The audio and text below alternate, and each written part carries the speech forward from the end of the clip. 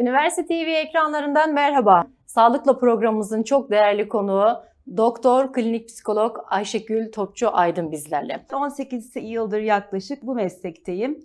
Hem klinik psikolog olarak ayrıyeten de çift ve aile danışmanı olarak hizmet veriyorum. Özellikle de benim en hassaslıkta e, çalıştığım grupta ön yetişkinlik çağı olan üniversite çağı grubu. Ben bu grubu çok seviyorum. Hem birçok faktör var konuştuklarımız. Hem akademik anlamda hem ruhsal anlamda hem kişilik oturması anlamında e, çok dinamik bir yaş grubu olduğu için benim de en keyifli çalıştığım grup açıkçası. Ama her zaman tabii bu biricik ömrü mümkün olduğu iyi değerlendirmek, bir challenge gibi bakmak lazım hı hı. olaylara. Yani yaşadığım şey bu niye benim başıma geldi demektense ben bu yaşadığımdan ne öğrenebilirim? Sevgili izleyiciler programımızın sonuna geldik. Başka bir programda görüşmek üzere. Sevgiyle, sağlıkla kalın.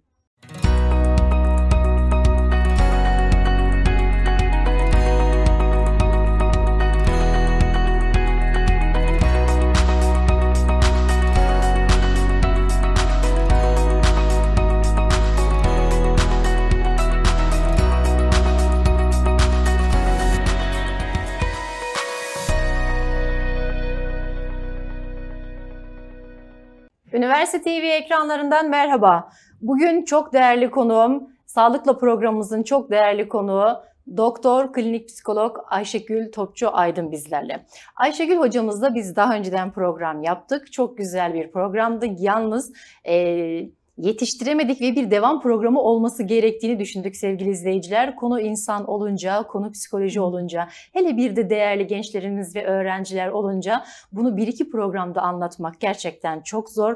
Bugün tekrar yine üniversite öğrencilerimize yönelik stres üzerine konuşacağız.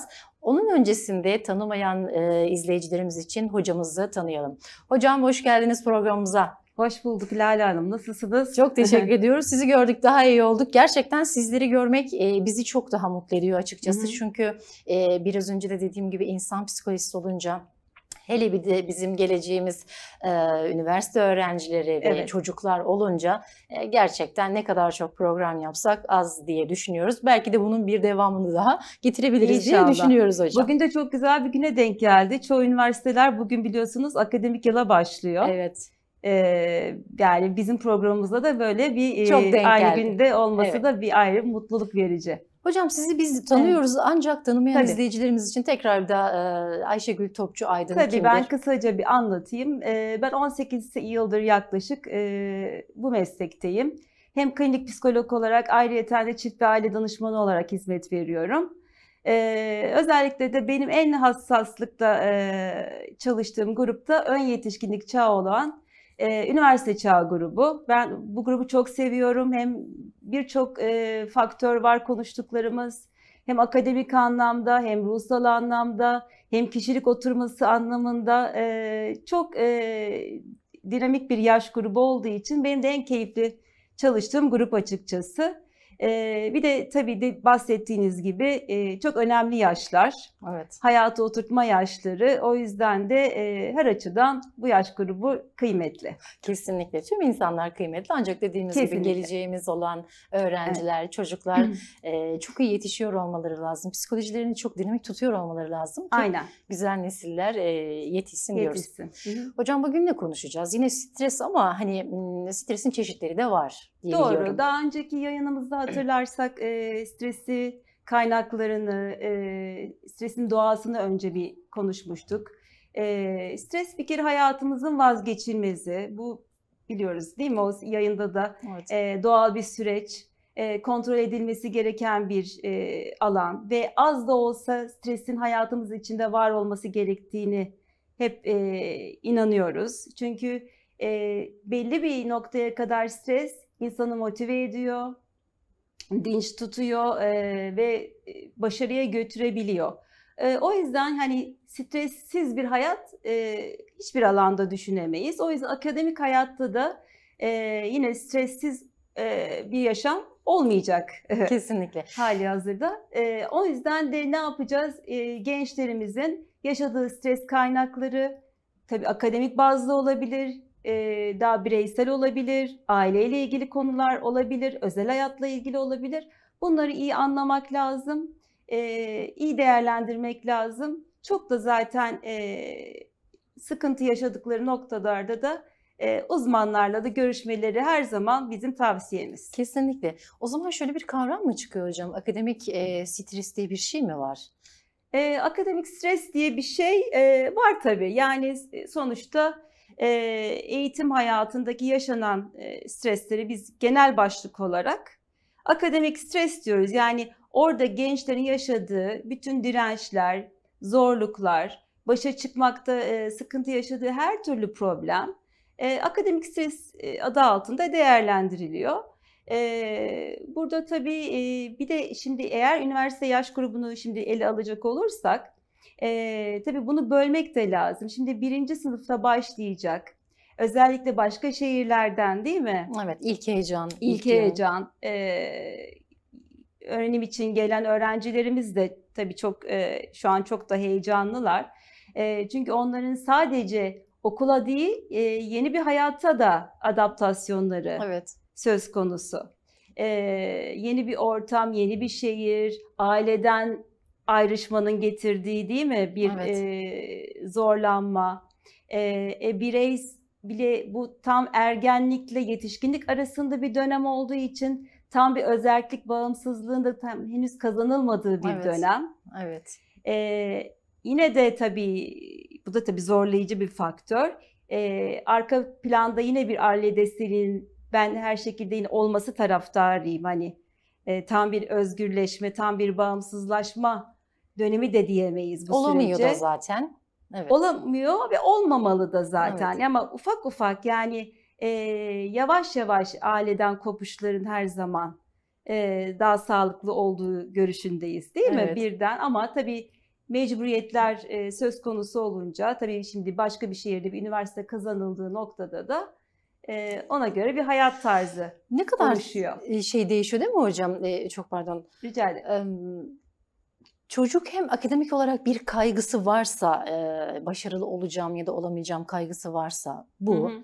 E, akabinde yeni bir sosyal hayata hayata başlayacak, yeni bir çevre, yeni arkadaş. E, dediğiniz gibi aileden kopma hani e, her ne kadar da 18 yaşında desek de bile aileden e, ilk koptuğunda 22 yaşında ağlayan yakınlarımı gördüm. Hani e, Hı hı. sanki böyle terk edilmiş gibi yurda bırakılan e, bir yakınıma e, şahit olmuştum. Çocuk ağlamıştı. Sonra alışıyor Ağlar. tabii ki ama. Bunun çok yaşla da alakası yok aslında.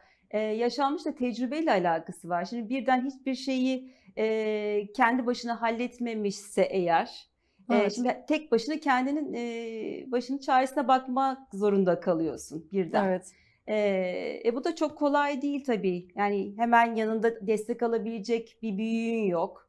E, Evet. yalnızsın yani anlatabiliyor muyum? Bunun da verdiği e, ilk başta tabii ki bir adaptasyon dediğimiz e, uyum süreçleri e, oluyor. Kesinlikle hem Hı hı. okula hem dediğimiz gibi arkadaş ortamına, yurtta kalıyorlarsa yurt ortamına, Evet. evde kalıyorsa ev arkadaşını tanıyana kadar bir stres yapıyor, panik Tabii. yapıyor. Herkes birbirinden korkuyor. Yani herkes ilk bir acemiliği birbiri Çekiniyor üzerinde. diyelim. Korku Evet. da- evet. Yani evet korku derken yapabilir miyiz, anlaşabilir miyiz? Yani Hı hı. kaygı, Kaygı. devamında geliyor. Kaygı ön planda oluyor. Herkes birbirinden çekiniyor ama sonrasında Tabii, kaynaşıyorlar. Tabii, tabii. Her zaman onu da de- demişimdir. Yani her zaman yeni ortamlar nedir belirsizlik içerdiği için belli bir süre o kaygıyı taşıyorsunuz. Evet. Yani ta ki alıştığınız zaman da aidiyet duygusu bir yere karşı geliştirdiğiniz zaman o kaygılar da yavaş yavaş azalmaya başlıyor. Evet.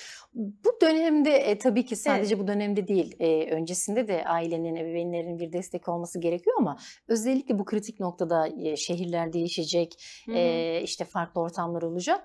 E, anneye babaya düşen en büyük sorumluluk nedir? Hani evet kazandın gittin, sana ben parayı verdim, git orada oku durumu değil. Hani dediniz ya arkada bir destek sürekli olması gerekiyor. Sevgi ve güveni esirgememek. Evet. Tabii tabii. Yani bu e, tabii yani ben sana maddi anlamda destek oluyorum demek yeterli olmuyor. Sonuçta ne olursa olsun o genci e, yanında olmak lazım. Sıkıntısında hemen ilk telefona sarıldığında ulaşabileceği kişi Evet. olabilmek çok önemli. E, bu yüzden hani e- ebeveynlerin de artık o büyüdü de- deyip de hani birden geri çekilmeleri değil ama tabii kontrollü olarak e, bağımsızlıklarına tabii ki destek verecekler ama bir şekilde de e, gözlerinin de üzerinden ayırmamalarını Evet. öneriyoruz tabii O ki. şeyde çok ince bir nokta değil mi hocam? Evet. Bazıları artık büyüdün işte kocaman adam oldun, hı. kocaman kız oldun, kendi ayaklarının üzerinde durabilirsin diyen bir kesim var. O da çok uç nokta. Bazı kesimlerde hala çocuk, bebek gibi davranıp böyle fazla koruyucu, tabii tabii fazla koruyucu oluyor. o Evet. çizgi çok iyi ayırt ediyor olmaları Kesinlikle. gerekiyor değil mi hocam? Tabii tabii tabii. Yani sorumluluk duygusu vermek zaten şimdi zaten üniversite hayatı e, belli bir anlamda e, sorumluluğu üzerinize almanız gereken bir otomatik olarak öyle bir döneme Evet. giriyorsunuz mecburen. Artık e, yani sınıfta bile kalsanız değil mi? Artık o siz bir bireysiniz, siz sorumlusunuz Evet. oradan. Evet. Yani ebeveyninizi çağırmıyorlar. Bu çocuk niye böyle diye. Yani orada her şekilde e, yani sen bu işi madem meslek olarak seçmişsin, bunun bilincinde olacaksın ve e, burayı okumak ya da okumamak senin tercihin Evet. meselesi oluyor. Yani o yüzden e, baştan zaten o sorumluluk duygusuyla e, o Hareket ortamın ediyorlar. içine giriliyor.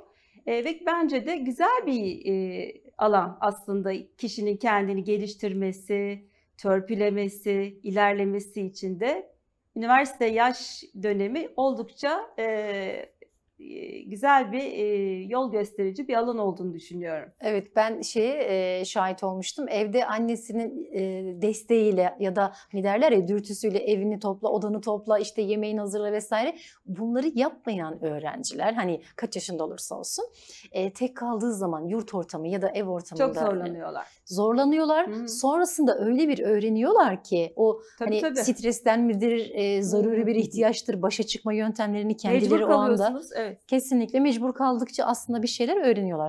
Ama tabii ki bu zorluk olmadan keşke zamanında birazcık daha evde öğrenip ondan sonra hayata atılsalar çok Evet. daha kolay olacak. Peki bu e, özellikle kaynaşma dönemi, hani ilkokulda bir kaynaşma dönemi vardır ya hocam, üniversite keza o şekilde. Bu dönemde e, hep stresli olacağını biliyoruz. Nasıl baş edebilecekler? e, hep stresli, işte o stres de aslında kelime olarak bile kullanmamakta fayda var. Yani bu dönemin e, doğası gereği bir uyum süreci olması gerektiği e, aşikar. E, burada e, kişi ilk önce farkında olmalı. Yani e, her zaman ne deriz? Hayat sürekli değişen durumlara adaptasyonu gerektiren bir Evet. süreç yaşanıyor. O yüzden özellikle birinci sınıftaki öğrencilerin hem yeni ortama, yeni bir kültüre, e, yeni bir çevreye, yeni bir arkadaş grubuna e, tabii ki belli bir süre içerisinde zorlansa da, e, sıkıntılar yaşasa da e, sonucunda alışıyorsunuz. Evet. Ee, yani en başta hemen belki e, akademik kaygılar başlayamıyor. Orada işte uyum süreçleri ön plana geçebiliyor. Ama sonra e, eğer sevdiğiniz bir bölümü de okuyorsanız, değil mi? Evet. Sevdiğiniz bir mesleği e, bölümüne girmişseniz, o zaman ne oluyor? Onun keyfine varmaya başlıyorsunuz. Evet. Çok daha keyifli oluyor Daha gerçekten. keyifli oluyor. Evet. Aslında insanın en keyifli dönemidir üniversite e, yaş Kesinlikle. dönemi. Değil mi? Çok Kesinlikle. fazla hem bir bireysin hem ona göre şeysin ama hani para kazanma çok zorunluluğu hi- hissetmiyorsun. Daha rahatsın. Yani hayatın aslında böyle keyifli dönemlerinden biridir. Tadını, Tadını gerekiyor. çıkarabilene aynen. Evet, evet. O yüzden de biraz onu da yapmak lazım. Ama tabii şu an e, diğer bir başlık tabii e, bu stres alanında onu da belirtmek lazım. Özellikle bu ekonomik koşulların e, yarattığı sıkıntılar. E, bazen ebeveyn desteklerinde de şimdi zorlanmaları duyuyoruz, görüyoruz haklı olarak. Özellikle şu dönemde ciddi anlamda zorlanmalar var. Evet, evet, evet. Ee, o, o çok fazla e, evet duyduğumuz bir konu. Öyle olunca da şimdi gençler e, biraz böyle hani hemen hani üniversite belli dönemine alıştıktan sonra da e, bir e, çalışma yani bir part-time bir iş bulma, Hı hı. e, biraz daha maddi anlamda e, kendine bir e, gelir, Gelir. elde etme sıkıntısı içine de düşebiliyorlar. Bu da tabii biraz e, akademik anlamda e, Zor boşluklara, zorluklara neden olabiliyor. E, işte uykusuz kalınabiliyor. Evet. Daha e, anlatabiliyor muyum? Daha düzensiz bir hayat e, yaratabiliyor yani. Bu tabii çok istemediğimiz bir şey ama e, biraz öyle bir sürece doğru da gittiğimizi gözlemliyorum. Maalesef öyle. Ee, şimdi bir öğrencinin gerçekten düzgün besleniyor ve uyuyor Uykuyu çok Kesinlikle. düzgün alması gerekiyor ki Düzgün sağlıklı. beslenme, düzgün uyuma, düzenli egzersiz yapma. Yani bu Evet. koşulların bir kere o gence sunulması lazım. Yani özellikle o yaş grubu hala bir büyüme çağı zaten 18-25 yaşı biliyorsunuz hala e, tam olarak e, Oturmayan bir yaş oturmamış grubu, tabii evet. ki. O yüzden iyi beslenmesi lazım. Protein ağırlıklı beslenmeleri çok önemli. Düz- düzenli fiziksel aktivite gerekli. Çünkü enerjilerini doğru yolda sarf etmeleri lazım. Ee, ve keza dediğiniz gibi de iyi uyku çok önemli bu Kesinlikle. süreçte. E, beslenme süreci de zaten e, kişinin ruh halini etkilediği için çocuk Hı hı. hani çok düzgün bir yemek yemenin vermiş olduğu hazla, derse odaklanmayla e, hani bir ekmekli bir makarnayla daha böyle mütevazi bir sofra e, kurup karnını doyurmayla e, aynı psikolojiye sahip olmayabiliyorlar. Yani ben birçok şeyi gözlemledim okul döneminde. E, Hı gerçekten ha şöyle makarna yiyip çok mutlu olan e, öğrenci grubu da var. E, üç yemek yiyip hiç mutlu olmayan grup da var. Ancak ne olursa olsun standartta tüm öğrencilerin, tüm insanın da olduğu gibi sağlıklı besleniyor olması lazım ki duygu durumuna olumsuz etkilemesin. Doğru Hı hı. değil mi hocam? Yani Çok yediği doğru. çünkü dışarıya e, olumsuz ya da olumlu olarak Tabii. yansıma yapacak. Şimdi hocam bu durumda e, bu arada şey de söylemek istiyorum. Evet önceden öğrenciler hep böyle okusun, e, okuduktan sonra bir meslek arayışı olsun vesaire durumu vardı. E, tabii arada yine çalışanlar vardı ama şimdi dediğiniz gibi part-time çalışmalar çok daha fazla olmaya başladı. Evet, yani bazıları da tabii ki böyle okuduğu mesleklere uygun işlerde olmayabiliyor yani. evet, evet. Hani ne buluyorsan hani onun Para kazanma ilgili- odaklı olduğu kesinlikle. için. Evet. Bir taraftan da aslında iş hayatına çok minik minik hazırlıyor. Tabii onu dozunda tutmak lazım. Sabaha Hı hı. kadar çalışan bir öğrenci sabah kalkıp 10'da okula gidiyorsa bu verimli tabii ki olmuyor. Olmaz tabii. Ee, onun için gönül ister ki hem yememiz düzgün olsun hem spor aktivitelerimiz yerinde Evet, olsun. her şeye zaman kalsın. Her şeye Evet. zaman kalsın istiyoruz. Ee, bir de burada ailelerin akademik stresten bahsediyoruz ya. En önemli sanki çocuklara e, baskı olarak, baskı unsuru olarak gördüğüm not odaklı. Öyle değil Hı. mi hocam? Yani bu stres yapmıyor mu? Akademik stresi bu da tetiklemez mi? İşte Evet. birinci sınıfta işte şu kadar not alman lazım, ki de şunu alman lazım. Melimalılarımız Ortalama. çok var. Evet, ebeveynlerin yaptığı melimalılar. Aslında kişinin kendine yaptıkları da var. Yani aslında insan kendiyle yarışmalı. Başkasıyla değil. Anlatabiliyor muyum? Yani burada hani ben bu gelişim süresi içerisinde kendimi ne kadar geliştirdim, nasıl ilerlettim, neler öğrendim, kendime neler kattım. Evet. E, buna bakmak yerine işte falanca Ayşe, Ahmet, Mehmet e, ne yaptı? E, kendimizi ya da işte çocuklarımızı e, başkalarının başarılarıyla kıyaslamak kısmı maalesef evet yapan hataların başında geliyor. Yani her çocuk kendine e, karşı özeldir. Yani herkesin e, yetenekleri, becerileri, e, ilgi alanları da değil mi farklı Evet. olabilir. E, bireysel değerlendirilmesi gereken konular çok kıyaslanmaması gerekiyor bence Evet. gençlerin. Bu da çok ciddi bir baskı unsuru gerçekten. E, bununla beraber e, biraz da tabii e, gençlerin e, neye dikkat etmesi lazım? Burada biraz da sınır koyabilmek de önemli. Yani burada e, Alanına müdahale edenlere mi? alanına müdahale edenleri aynı onu şey e, söylemeye çalıştım. E, hayır diyemek bir saygısızlık demek değildir. Ben Evet. bunu hep yetişkinlik çağına gelen danışanlarıma da hep söylüyorum. Yani bunun nedense bizim toplumumuzda böyle her şeyi biliyorsunuz e, kabul etmek, Evet. e, Kırılır diye kırılır, reddetmek. üzülür diye Evet. şey aslında bence kendini üzmekten öteye e, varmayan evet. konular bunlar. Evet. Ama insanın öncesinde kendini iyi tanıması, e, kendi bireyselliğine e, farkına varması İç çok motivasyon önemli. e, e, ve bunu da ben e, üniversite yaşlarında bunların oturmasını çok çok çok önemsiyorum. Evet hocam. Evet. Ee, bunu sizden de özellikle duymak istiyorum. İç motivasyonu yüksek olan e, bireyler, Hı hı. e, bu da tabii aile destekli olacak. E, çocukluk döneminde bunu aşılayacak ki çocuk iç motivasyonunu belirli yaşlarda kendi kendine işte o sınırı koyabilmesi için kendi Onun için de ama biraz lazım. özgüvenli ol- olması lazım. Evet o özgüveni de aile kazandırması Şimdi gerekiyor tabii ya. içine kapanıksa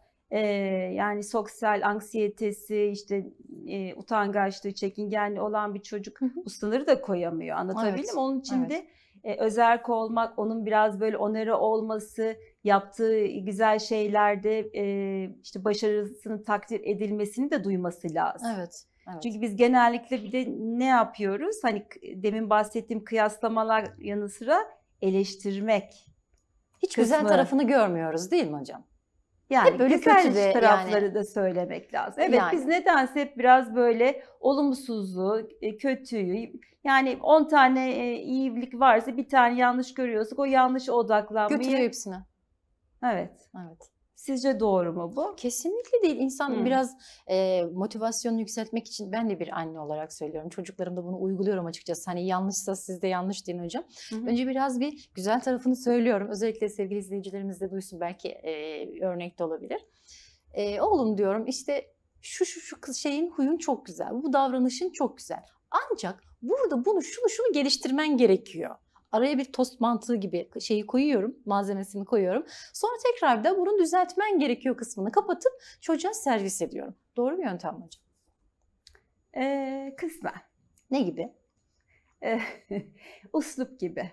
Yani biraz burada e, ben şu ben dilini hep öneriyorum. Yani burada da bunu mesela ben bunu yaptığını bunu böyle hissediyorum deyip kendinizi biraz daha mal ederek konuşmanızı ben daha tavsiye ederim. Mesela e, çünkü çocuk sonuçta daha alıngan olabilir, kırılgan olabilir. E, ve şimdi siz otorite konumunda olduğunuz için kendini belli bir şeyde yapmak zorunda hissetmek e, konusunda yani bir baskı hissedebilir. Daha yakınlık kurmak, e, biraz daha empatik e, yaklaşabilmek adına söylüyorum. Biraz da mesela ben senin yerinde olsaydım bunu böyle yapardım. Ya Daha da yumuşak. Evet yani söylediğiniz aslında aynı şeyleri belki ifade edeceksiniz ama mesela ben e, senin yaşındayken bunu böyle yapardım gibi anlatabiliyor muyum? Yani sizinle daha böyle yakınlık kurabileceği e, şekilde e, konuşmayı daha tercih ederdim. O zaman da ha bak bu böyle de olabiliyormuş fikri e, ona daha cazip gelebiliyor. Evet. Çocuklar Yani da kural etmek gibi algılamasını, e, görev gibi yapmasını e, mı hissettirmemiz lazım? hissettirmememiz Vermemiz lazım. Evet. Tamam. Burası çok önemli. Heh. Kural gibi ve görev gibi değil. Evet. Daha akışta, daha böyle samimi olun Aynen. e, kısmını özellikle vurgulayalım istedim. Şimdi zaten iletişimde de şey diyoruz ya hocam. Sen dili, ben dili, biz dili. Şimdi duruma göre evet ben de çocuklarıma yapıyorum Hı hı. bazen. Benim rahatsız olduğum bir şey varsa ben dilini kullanıyorum. Onun rahatsız olacağı bir dil varsa onun dilini kullanıyorum. Bütünümüzü etkileyecek bir şeyse biz dili kullanıyorum. İyi de Güzel. hocam şimdi e, annelik duygusu diye bir şey var. Yani bazen inemiyoruz e, o duygu durumlarına. İşte biz ge- Zorlanıyoruz diyorsunuz. Ya zorlanıyoruz Evet. Çünkü çağımız farklı. E, biz önceden Biz böyleyiz. de bunu alıyoruz. Tabii Bizim de ki. evet kendimize ait sıkıntılarımız oluyor. Onlar çatışabiliyor. Evet. Yeri geldi mi? Doğru. Anne olduğunuz zaman her şeyin üstesinden gelmesi gerekiyor. Bir misyonumuz var ya. Evet ben de öyle düşünüyorum. Hani çocuk problem yarattıkça biz bir tık daha kendimizi geliştirip örnek olmamız gerekiyor. Yılmamamız gerekiyor. Çocukla çatışmaya girmememiz gerekiyor. Kesinlikle. Ama yine de anneyiz. Arada bir tutuyor hocam bazı damarlarımız değil mi? Zorlandığımız kesimlerde olabiliyor. Peki hocam akademik stresten e, bahsettik. Bir de bunu akademik stres hem bu dönemimizde ilgilendiriyor ya e, maalesef dünyaca etkilendiğimiz bir pandemi süreci vardı. Pandemi sürecinde sadece öğrenciler değil tüm insanlar etkilendi. E, ancak baş edebilen etti, baş edemeyen bazı zorluklarla gerçekten farklı farklı sıkıntılarla karşılaştım. Şimdi konumuz öğrenci ise eğer pandemi döneminde online eğitimlerde e, danışanlarınız size e, hangi sıkıntılarla e, başvurdular? O dönem nasıl bir duygu durumu yaşadılar? E, şimdi e, yani geçen sene bir hibrit eğitim vardı. Şu anda hepsi yüz yüze eğitimler başladı. hemen hemen evet. Evet, geçen seneki duygu durumu, bir önceki seneki duygu durumu, geçen seneki duygu durumu ve bu seneki 3 yılı baz alacağız. Şimdi öğrencilerimiz hangi duygu durumundalar? Stresle baş edebiliyorlar mı? Pandemi onları ne kadar etkiledi? Çok uzun bir soru oldu. Yok, çok güzel bir soru oldu e, aslında. E, o kadar değişken bir ruh hali izlediler ki. E, şimdi ilk önce çok bir e, panik ve mutsuzlukla başladı aslında. Çünkü e, sıkıntı neydi? E, neyle karşılayacağını bilmemek. E, bir, iki önce zaten bu aşılardan falan önce de biliyorsunuz e, çok ciddi bu hastalığın hani e, ciddi sonuçlar Evet. doğurduğu dönemler de yaşadık. O yüzden hem çok ciddi hastalanma korkusu, işte büyüklerine çevreye yayma korkusu. e, çünkü gençlerde o kadar o sorumluluk duygusu daha önce yoktu. Şimdi Evet. e, hem bu korkularla da e, çok haşır neşir oldular. E, ve birden ne oldu? Yüz yüze eğitim e, aktı, hemen online eğitime geçti. Hiç biz daha önce bir online eğitimi içinde olmamıştık. Evet. Tamamen yeni bir e, düzene girildi.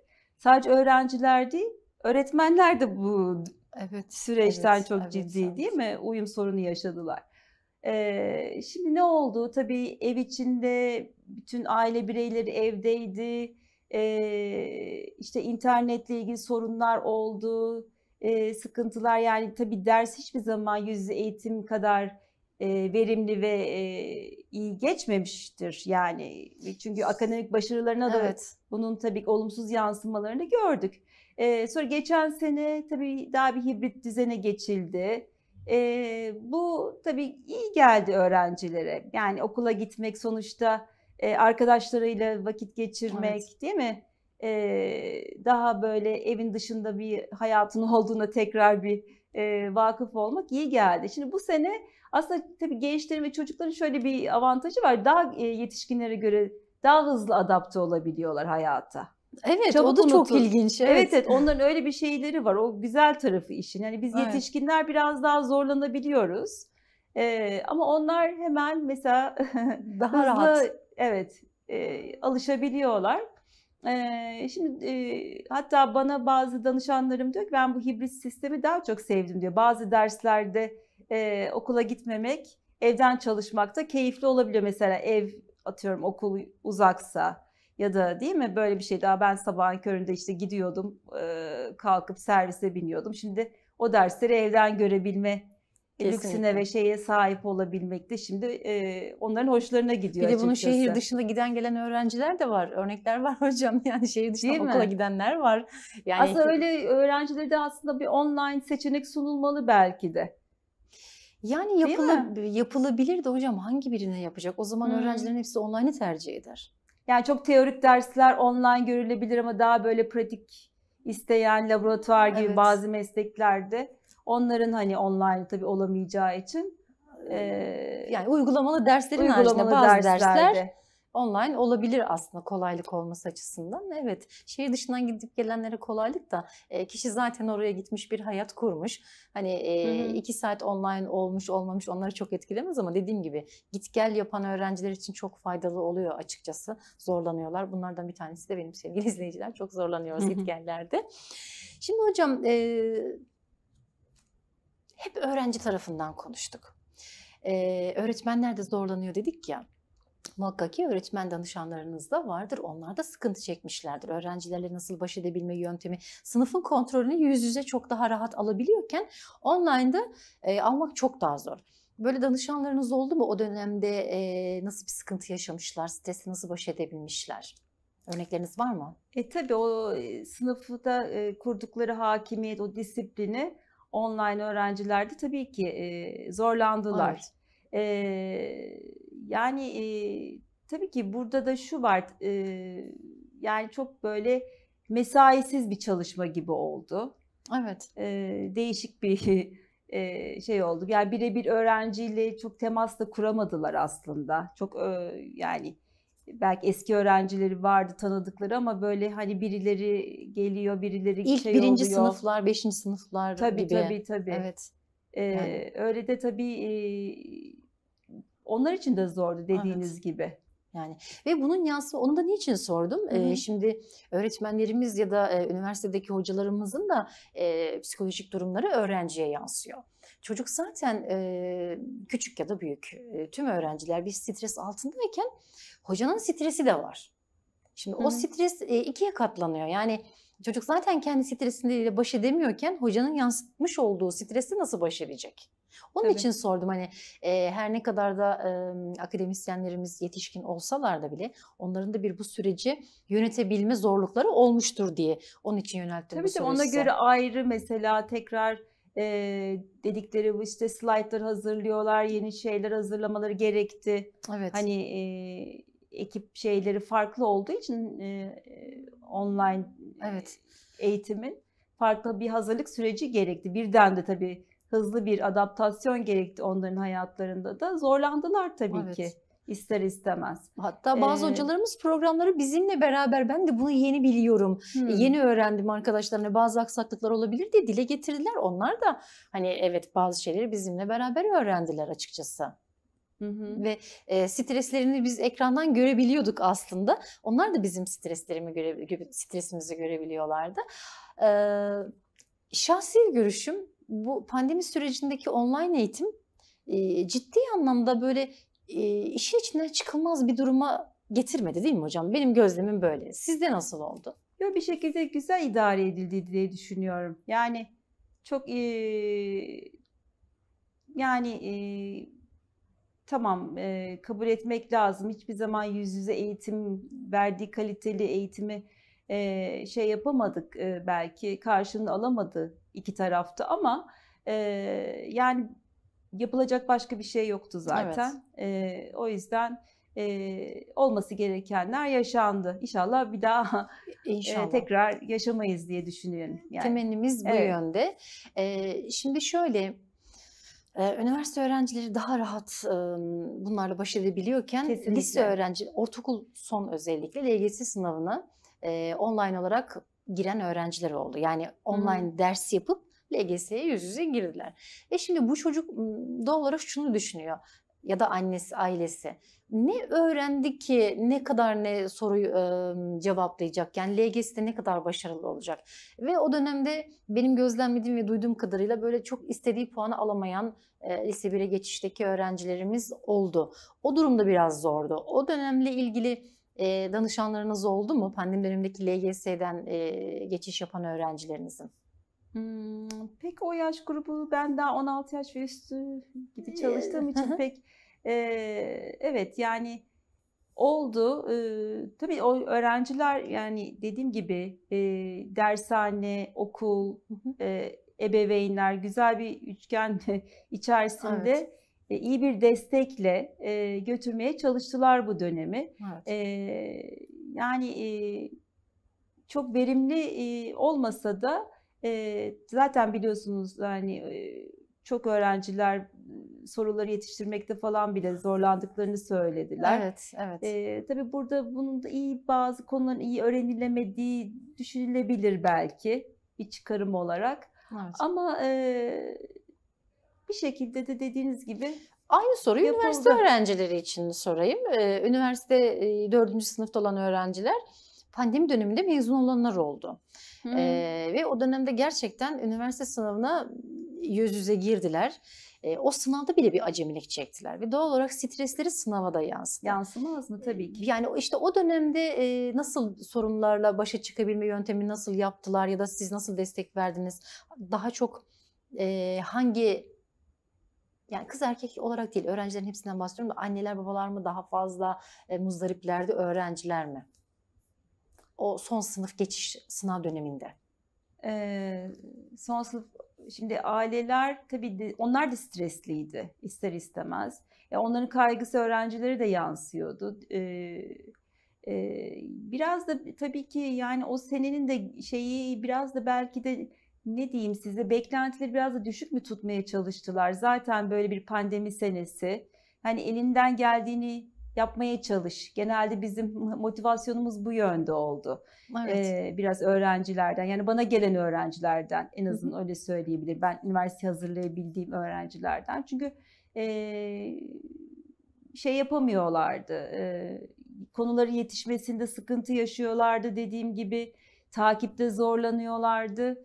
Ee, yani ee, o onu rahatlattı. İşte sürekli böyle ee, şimdi evde oldukları için mesela ee, bir de fiziksel ee, çok evde oturmanın getirdiği ee, gençlerde çok fazla kilo alımı evet, oldu. evet. Anlatabiliyor muyum? Bu biraz ee, da tabii sıkıntı. Hareketsiz çok fazla kalındı. Evet. Ee, o biyoritim bozuldu. İşte ee, biliyorsunuz yetişkinlerde bile kalkma saati, yatma saati yani Düzen bir- bozuldu bayağı. Evet, bozuldu evet, yani. Evet. Ee, onun tabii tekrar oturması, şimdi tabii yüz yüze eğitimde başladığında değil mi? Onun tekrar bir e, sabah okula gitmek, işte belli bir saatte işte öğlen yemeği yeniliyor, belli bir saatte şey. Tekrar o düzenlerin oturması zaman isteyen bir sürece girdi. Evet.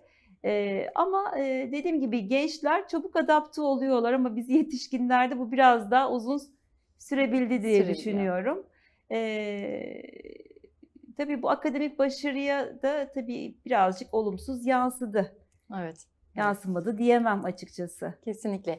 Ee, ama yine de o dönemin e, sıkıntılarını göze alarak yani baz alarak daha doğrusu anne babalar çok fazla çocuklarına da yüklenmediler gözlemlediğimizi Evet e, evet. söylüyoruz değil mi hocam? Evet evet. Yani daha bunun böyle e, uyumlu, daha toleranslı, evet, uyumlu, toleranslı. evet, evet, Evet, davranmaya çalıştılar. Kesinlikle. İnsan psikolojisi ne kadar garip değil mi hocam? Şimdi önce pandemi sürecinde şey yapıyoruz. Allah'ım biz evden nasıl eğitim yapacağız diye ona e, uymaya çalışıyoruz. Ona alıştıktan sonra of sabahtan nasıl okula nasıl gideceğiz? gideceğiz, Üzerimizi okula nasıl giyeceğiz. gideceğiz? Evet. Yani ne kadar değişken ama bir o kadar da Allah'tan e, hızlı adapte oluyoruz da evet, e, o biraz konfor alanımızdan Ha, çıkıp konfor alanı dediğimiz şey. Evet. Evet. İnsanı zaten hep onu deriz ya bu konfor alanından çıkmadığınız sürece gelişip ilerlemeniz mümkün değil. Evet, Ama tabii o da insanın işine geliyor, tembelleştiren bir şey aslında yani. evet. O Evet. konfor alanını o zaman e, ince o çizgiyi aşmadan çünkü bir insan evinin konforunu da kullanmalı. Kesinlikle. E, yani tabii ki. Yani 7-24 bir insan e, tetikte olamaz bir durumu vardır ya evime geldiğim zaman konforumu e, görebileyim, alabileyim ancak e, sosyal Hı. hayatımda da konforun dışına biraz çıkabileyim ki başarıyı elde edebileyim Tabii e, yorumu ortaya çıkıyor. Hı. Şimdi hocam dediğim gibi gerçekten insan konu insan olunca, psikoloji olunca, öğrenci olunca gerçekten çok e, uzun sürüyor. Şu an saatin dakikanın nasıl aktığını bile fark etmiyorum. Yani e, daha neler neler konuşacağız kim bilir.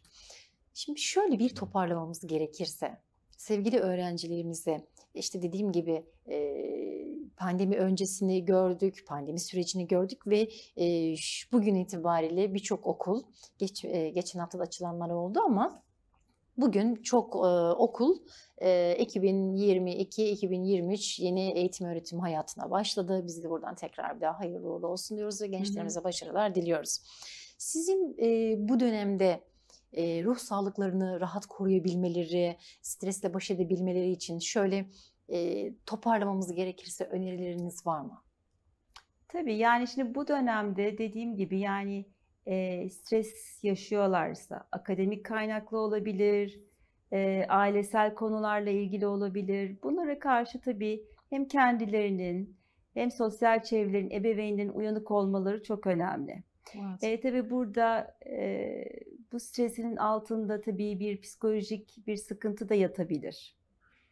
E, tabii e, bununla yanlış ba- başa çıkmada bir de gençler çok o konulara girmedik ama biraz alkol madde kullanımının da biraz da bunların arttığını gözlemliyoruz özel, özellikle Aileden e, şey kaldığı zaman değil mi? Yani bir rahatlama Ee, durumu vardır ya. Hani evet. bir bo- başıboşluk durumu vardır. O dönemde mi daha çok oluyor? Ee, biraz öyle. Biraz da e, tabii bu rahatlamak için de aslında gerginliğinizi atmak için de biraz hani gevşemek, daha hı. rahat hissetmek e, adına da yapılan bir şey. E biraz da eğer yanlış bir arkadaş grubunun içine dahil oluyorsanız da Evet. biliyor evet. musunuz? Ha, bunlara karşı da tabii dediğim gibi işte ebeveynlerin de uyanık olması lazım. Evet. Ee, onun en güzel formülü ne? Dengeli bir hayat götürmek. Bir kere akademik e, sadece tabii üniversite hayatı akademik hayattan ibaret değil, değil mi? Kesinlikle. Ee, özellikle ben gençlere diyorum ki okulların içindeki o sosyal kulüplere üye olsunlar, mümkün olduğu kadar kampüslerde daha çok vakit geçirsinler. evet. Yani ne kadar erken yaşta bu sosyal sorumluluk projelerinin içinde olmak değil mi? Ona çok da onlara çok daha e, Motive e, edecek. motive edici olur, özgüvenlerini arttırır. E, yeni farklı alanlarda bilgi beceri sahibi olmalarına vesile olur. E, bunlar içinde olmak önemli. E, yine bir hobileri muhakkak olsun. Yani spor Kesinlikle. dışında da e, yani e, sanatla ilgili bir şey olabilir. Yani ne gelirse yani Sanat, müzik, spor, müzik her şey yani olabilir. her şey olabilir kesinlikle. Bu dallardan birine ilgilenmek bu yaşlarda çünkü başlıyor. Evet. Ee, bunlar da e, sonuçta ruhu besleyen, değil mi? Kötü Kesinlikle. al- alışkanlıklardan koruyan Kesinlikle. e, ve e, o hani bahsettiğimiz o boşlukları da çok güzel dolduran e, konularımızın başında geliyor. Kesinlikle. Öğrencinin zaten hani e, boş zamanım e, olmuyor kısmını ya da e, her şeyin boş kısmını Evet. çok uç nokta bir cümle değil mi? Neyle doldurduğunuz çok önemli. Kesinlikle. Tabii Yani. mesela boş zamanı e, bütün boş zaman bir kafede oturup e, arkadaşlarla sohbetle geçirmemek kısmı mesela. Evet, evet. Zamanımızı iyi değerlendirmek, e, hem okulun değerini bilmek, hem gençliğimizin değerini bilmek, e, hem de e, üniversite hayatı e, sosyal hayatta en önemli hayatlardan ve Tabii. belki de e, gerçek hayata, belki de değil öyle zaten, gerçek, hayatın hayata geçişi. geçişin bir çok provası, ön provası. ön provası. Evet. Ben Onun onu çok için- seviyorum. Hatta şimdi bütün e, okulların ben e, çoğu danışanıma tabii ki artık çoğu da e, bir yabancı dille çoğu üniversitelerde artık e, şey eğitim veriyor.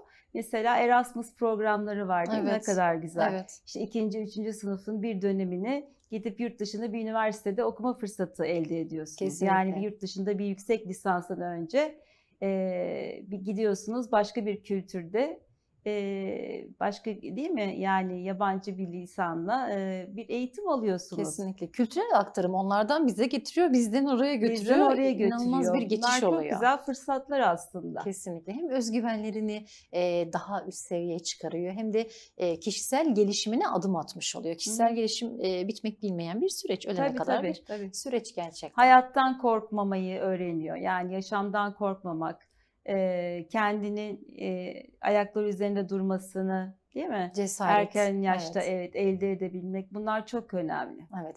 Zaten bunlara sahip olan insanın e, evet dış motivasyon, alkışa her zaman ihtiyacımız var. Ancak iç motivasyonu yüksek olan insan kendisini hı. başkasıyla kıyaslamaz. Kendi ayaklarının Bak üzerinde ne durur. güzel söylüyorsunuz. Yani Evet. bunları da zaten ailelerin temelinden aldıktan sonra üniversite üzerine koyarsa çok daha başarılı olurlar diye düşünüyorum hocam. Çok güzel. Evet. Ben de öyle düşünüyorum. hocam çok Ha. akışta sohbet oldu gerçekten. Yani e, diyorum ya insan e, olunca konu öyle bir de gençler olunca gerçekten e, ne soracağım konusunda insan tıkanmıyor. E. Geleceğimizin öyle bir güzel inşa ediliyor olması gerekiyor ki ta bebeklikten e, ta ki ölene kadar. Evet. Bizim bazen hayatımızı tabii etkiliyor. hayat şartları bazen o kadar da e, hoş olmayabiliyor. Evet. Talihsizlikler olabiliyor, değil mi? Ama onu E, fırsata çevirme kazalar, kısmı. hastalıklar, vefatlar vesaire Evet. de insanların hayatlarında olabiliyor bu tip şeyler. Ama her zaman tabii e, bu e, biricik ve şey e, ömrü e, mümkün olduğu kadar iyi değerlendirmek. Kesinlikle. Değil mi? Yani E, fırsata çevirmek diyoruz onu evet değil mi hocam? Evet, evet, evet. Evet. E, şey e, yani hayatı bir hani ben onu şey severim.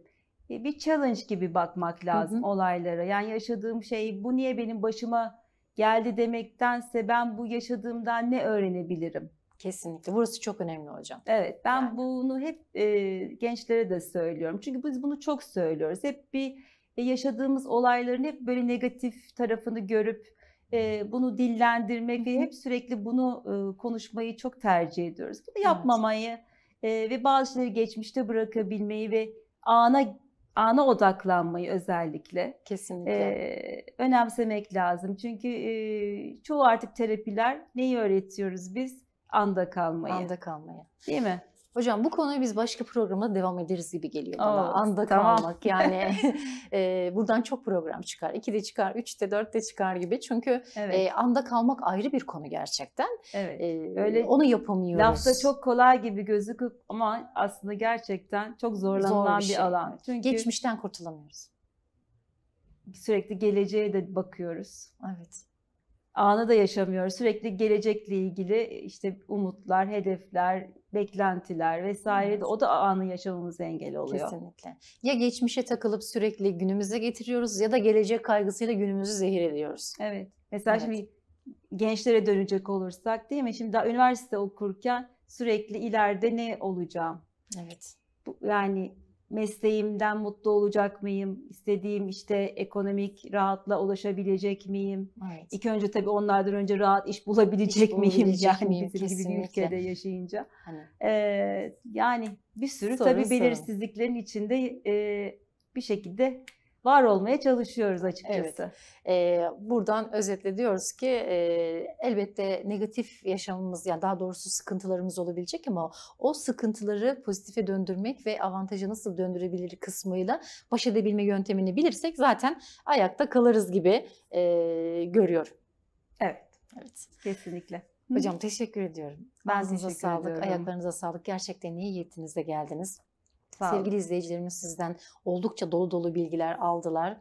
Ee, öğrencilerimiz de sizden ciddi anlamda güzel bilgiler aldılar. İnşallah e, devamını getiririz diye düşünüyorum hocam. Görüşmek üzere diyelim o zaman. Çok teşekkür ediyoruz tekrar hocam. Sevgili izleyiciler programımızın sonuna geldik. Başka bir programda görüşmek üzere. Sevgiyle, sağlıkla kalın.